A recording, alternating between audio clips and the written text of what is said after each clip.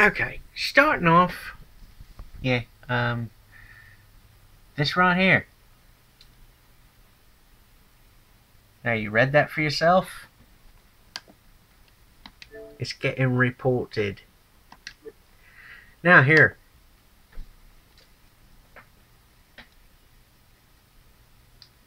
Seriously? Are you fucking joking?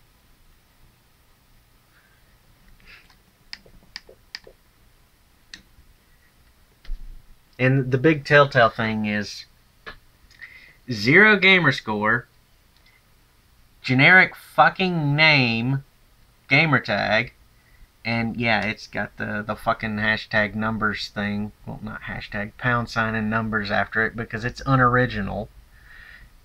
And status is offline. And oh, look, loads of friends. Yeah, me? No, I'm not your fucking friend.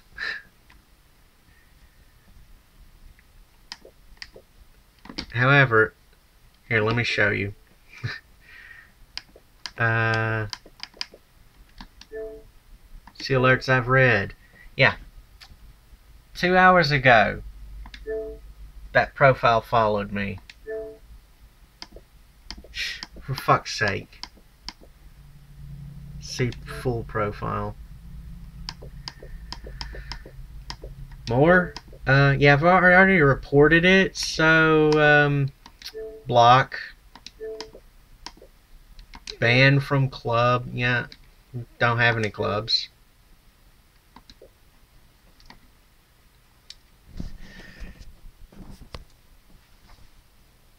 This is nothing new. What the, what... There's there's two things going on here. First, more scammers attacking me. That's what's going on here. And that would lead to another fucking social media bullshit with some random lying scumbag piece of shit lying on me again.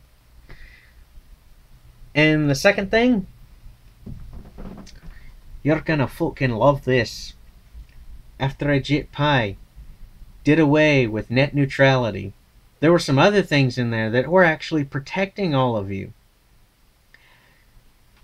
There's a laundry list of things. You want to know the specifics? Look it up for yourself. I, am not going to bother even going and, and looking up all the details myself. I don't even want to know all the details. Because it's a laundry list of shit. Even the bullet points is a laundry list of shit. But to hmm. summarize it, robocallers and tech support scammers and prostitution scammers like that, like I just showed you, they were allowed free reign because they work for a company. Yeah. They fit under that umbrella that was allowed free reign over the internet when net neutrality was abolished. So because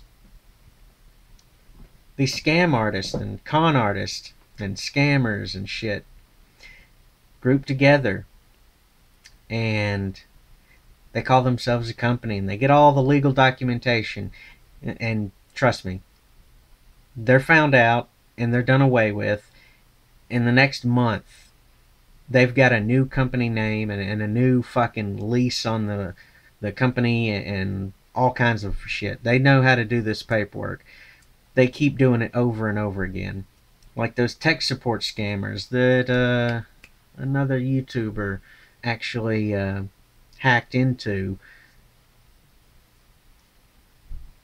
and uh, fucked with them. Someone in the comments, please post a link to the uh, the other fellow who backhacked the tech support scammers, so everyone has a nice basis for what the fuck is really going on here. But anyway, because they get together, they call themselves a company, they do all the appropriate paperwork for it, They're out of the United States, so they can't be tried and convicted under United States federal law. So it has to be international law. In a lot of other countries, they really don't give a fuck. Especially in India. That's why a lot of uh, scammers are based in India. And in uh, Cameroon, South Africa, or Central Africa. I forget which. But it's Cameroon and another place in Africa. Uh, fuck. The 419 scams. Um, Scam Nation, Scam School. Look them up. Look up their video on 419 scammers. They can tell you a bit about it.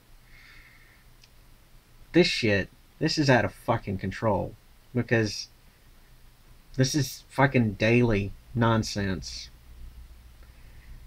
And it's not just on Xbox.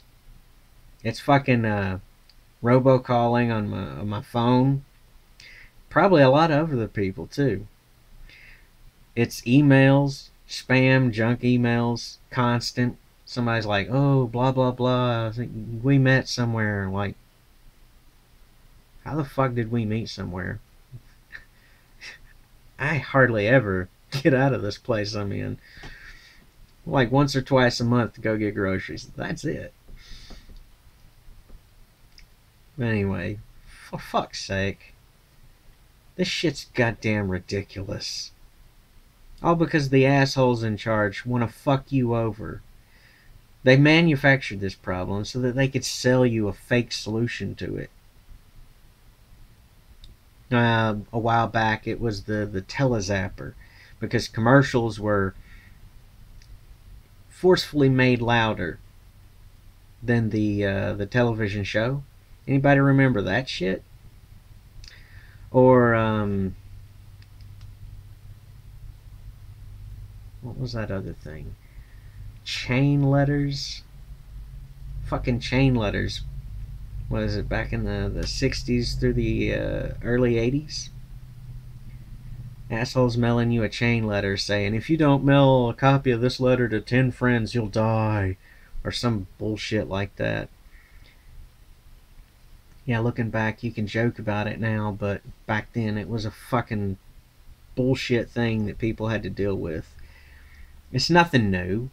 It's just the way it's being done is in the modern society. It's nothing new.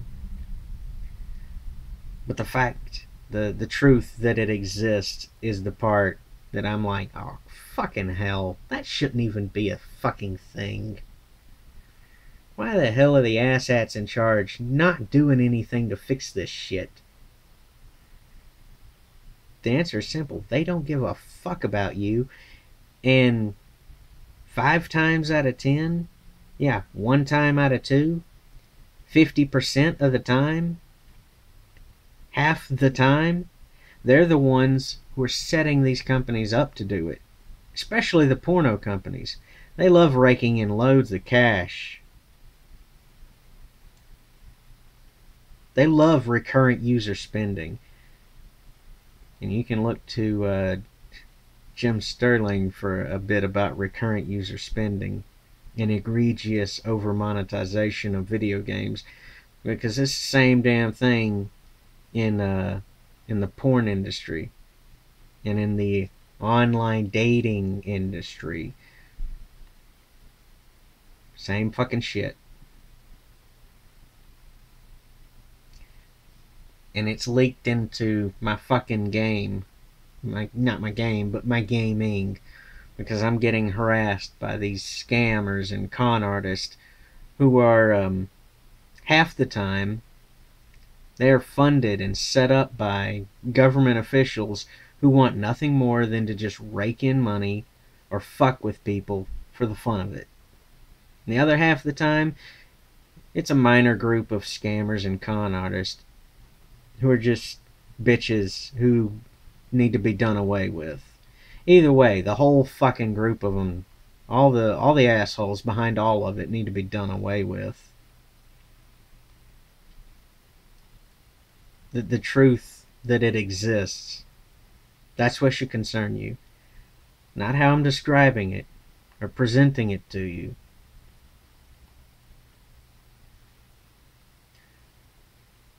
For fuck's sake.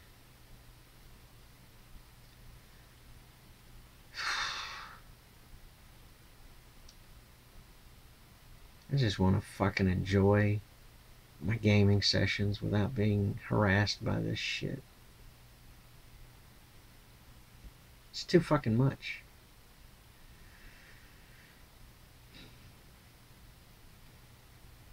It's just too fucking much every fucking day.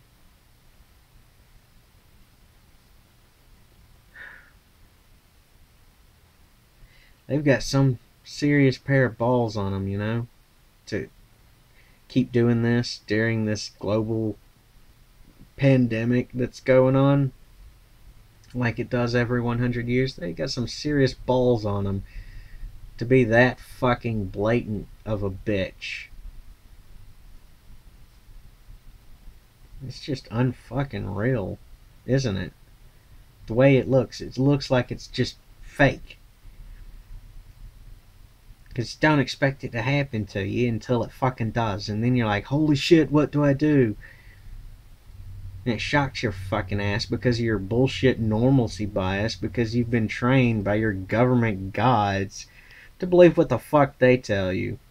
And what they tell you is don't trust this guy. Just look at him. The fuck does how I look have to do with the truth that you're letting bullshit happen to people, including me?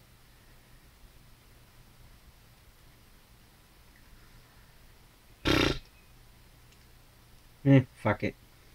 Fuck America. Fuck your ideals. Fuck you.